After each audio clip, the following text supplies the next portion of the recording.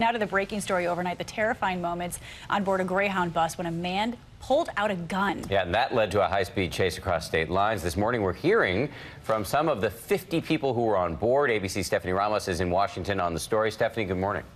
Dan and Paula, good morning. Passengers on that bus said they were absolutely terrified and they didn't know what to do when this guy started saying he was going to kill them. And they were even more confused when the driver of the bus didn't stop even after rolling over spike strips.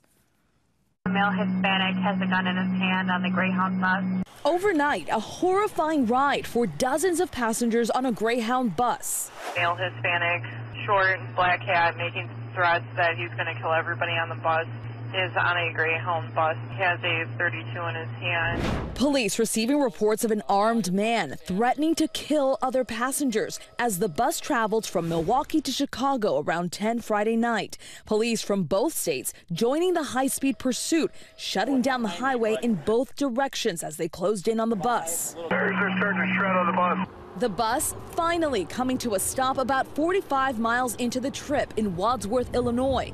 All 50 passengers escorted off the bus safely. Who's gonna kill us? Who's gonna put a bullet in our head? The suspect was taken into custody, dozens of police cars blocking traffic as police investigate. This morning, state police tell ABC News, thankfully, no one was hurt. Everybody was scared in the back, yeah. I mean, because you don't know what to do in those kind of situations, so you just do the best that you can. So scary. That man was arrested, and the passengers are just thankful that it all ended the way it did. Paula, Dan. Stephanie, thank you.